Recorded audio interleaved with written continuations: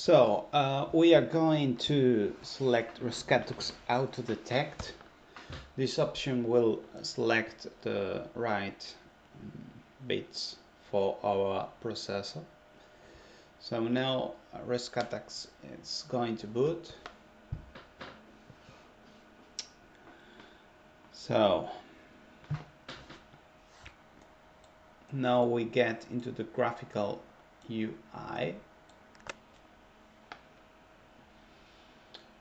So let's wait till it loads fully.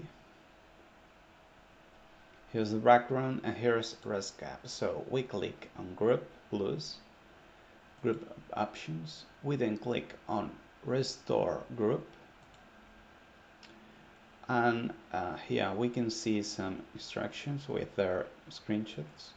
But we can just click on Restore Grub, exclamation mark three times.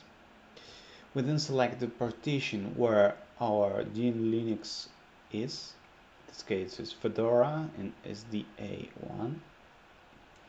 Okay.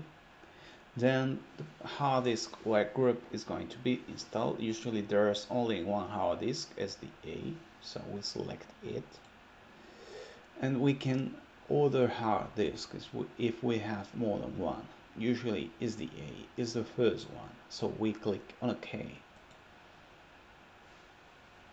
So now Rescatux is working and it says that grub was installed. Okay so to mm, close Rescatux you click on the right bottom corner shutdown button, button and then in shutdown. And it will halt the computer. And that's it